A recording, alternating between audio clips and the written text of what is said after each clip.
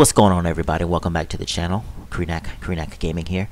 And today we're going to go over what I believe are must-haves for the American Premium tree. If you have some Golden Eagles, you know that there's a sale coming up. And I believe that these are vehicles which are must-haves for your lineup. And there, there are not that many must-haves, but later uh, in the video we'll go over uh, nice-to-haves and collectibles. But first, uh, before we do, I want to give a shout out to Bumzilla112. Uh, we recorded a video earlier, but because of sound on my end, it wasn't his problem at all. Uh, it was very difficult uh, to get my sound working, and that video I was not able to put up. I just didn't want to put it up with the sound the way it was. But if you are listening or you are watching this video, Bum, thank you so much for that help. You gave me a lot of good uh, pointers, and I hope you don't mind me using some of those that you made. Um, because I, I really kind of just want to get this video out there to kind of give you know people an idea of what they should be looking for, especially on the American tree, with uh, with uh, respect to premiums and must-have premiums. Um, I also want to do uh, Germany and the rest of the, the, the trees. So hey, if you are listening, so if you want to get together, maybe try to do. Germany and maybe a couple of other trees, I'm more than uh, down for it. But again, thank you for the help that you did. And it wasn't intentional at all. It just I'm just having problems with my sound on my end. So anyway, so uh, everyone, let's go ahead and uh, and get started with my must-haves for the premium uh, tree on the American side. Alright, so the first vehicle we're going to take a look at in my must-have for premium vehicles in the American lineup. Now these, when I say must-have, I mean vehicles that are going to help you uh, silver line wise, vehicles that are competitive at their BR, vehicles that um, you can take out and be successful in without too much uh, in the way of uh, struggles. Now, some of these vehicles you have to have a little bit more skill in, but for the most part, these are vehicles that help your lineup in terms of it helps to fill your lineup out. Uh, vehicles that, in my opinion, will gain you the most silver lions for your golden eagle spend and also vehicles that are essential to uh, to filling out uh, whatever you may be missing in terms of getting a complete lineup okay so the very first one we're going to take a look at is the M4A5 RAM. So it's at 3.7, and I believe this is a must-have for a couple of reasons. For newer players, this is a good vehicle to sort of learn uh, what the upcoming Sherman, the upcoming Shermans are about. Uh, it gets a little bit more armor than say the M4 and uh, the M4 A2 that also sits at 3.7. Now this vehicle also fills out the American 3.7 lineup quite nicely and when you're facing other players in this vehicle you have decent armor to go against. Uh, whatever competitor that you're going to come across. The 57 millimeter cannon, it's decent at this build at this tier. 3.7 you can kill pretty much anything you come across. The only problem that you may find is the KV1 and you know you're just going to have to learn where to shoot those vehicles. And most players you know transmission housing or those two uh, lower right corners that surround the uh, the gun mantlet.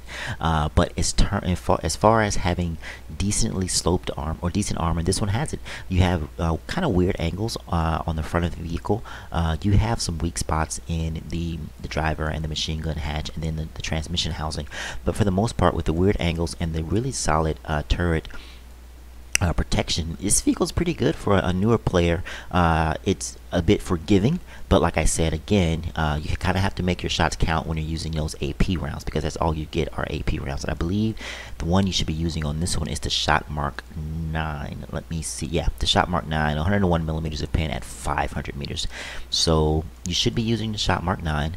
And uh, if you are new to the game or you're just trying to grind through that rank 1, 2 and get into rank 3 with the Shermans, then this is the vehicle I think you should have, okay? The first vehicle on my must-have list. Not the best one, but the first one on my must-have list as we're going down the tech tree, okay, from rank 1 all the way to uh, rank 6. So the M4A5 RAM. We're going to go ahead and get to the second vehicle on my must-have list, and that is this boy, my favorite tank in the game.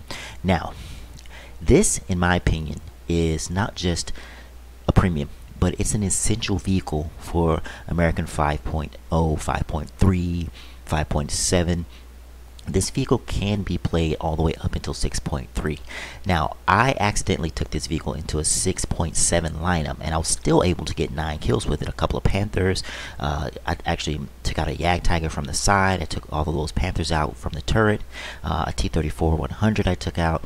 Uh, 9 kills in that game. So anyway this in my opinion and in I think a few other people's opinion this is probably the best American Premium in the game, and it comes close to it, it. You could arguably say that this is not just the best premium in the American tree, but it's the best premium in the game, and there's a few reasons for that.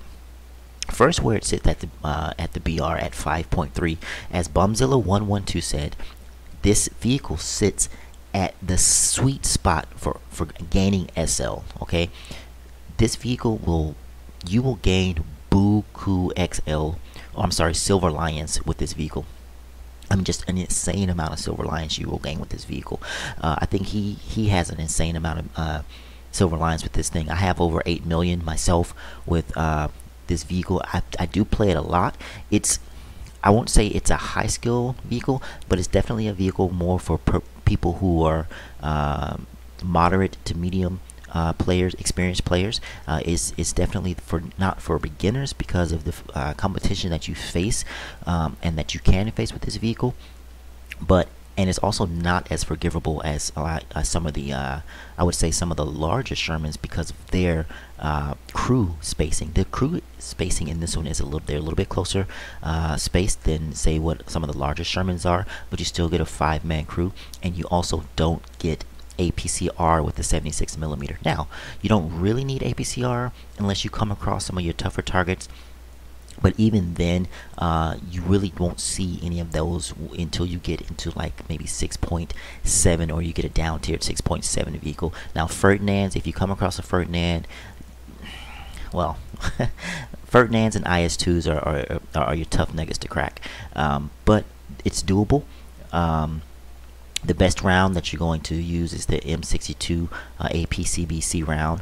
Uh, this vehicle uh, will basically destroy anything that you see with the APCBC round. It's the it's one of the American nuke rounds along with the M82. Okay, uh, it has solid armor up front at an angle. Um, over 100 millimeters at an angle. The turret armor is decent. It's not great, but I have bounced 88 uh, long 88s with this vehicle. Um, just, just you're going to bounce some shots. You're not going to use your armor uh, as you know as you would in say like a Tiger or um, a Tiger 2H or anything like that. But the armor can save you, okay? Because of the SL gain, because of where this vehicle sits, because the RP and because in my opinion this is the best Sherman in the game this is the best Sherman in the game okay so if you are someone looking for an American premium on sale and either you don't have this vehicle or you're trying to grind through the Shermans, this is the one to get. Lower profile, just as good on the speed, better versatility, good gun depression like all most American vehicles have, very good gun depression. You still get your 50 cal. This thing plays like a T34, but in my opinion, better than a T34. Okay, um, so this is a must-have on any American lineup at 5.0 up I even say up until uh, 6.0 you can even put this vehicle in at 6.0 and still plays very well now of course you're gonna start to struggle around 6.3 and 6.7 but it is doable but you're really not looking to put this vehicle at that BR okay best American premium in the game T20 get it if you don't have it it's a fun vehicle. It's fun at 5.3. You're going to come out with some amazing games when you learn how to use this vehicle. It is a Sherman but better. It is a T-34, but better. Okay, and a Russian T-34, but better. Get this vehicle. Okay.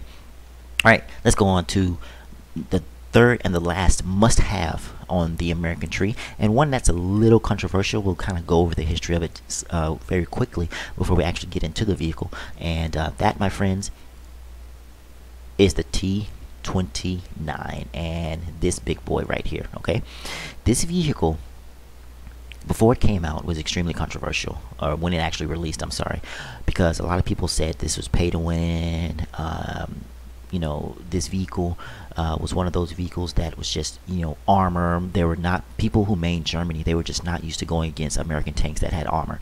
And this was the very first tank in the game that if you came up against it against the American line, uh, you had to actually know where to shoot this vehicle. You had to actually concentrate and not just point and click. And in my opinion, this vehicle is not the number one in the American tree simply because in order to have a competitive 6.7 lineup, you need this tank. I don't think a vehicle that you need should be in the premium lineup. It should actually be in the normal tech tree. If you want to have a competitive American 6.7 lineup, you have to buy this vehicle. That's just, it's as simple as that. The T-34 is good, but the reload is too slow. Okay, this one has a slightly better reload. It still has good armor.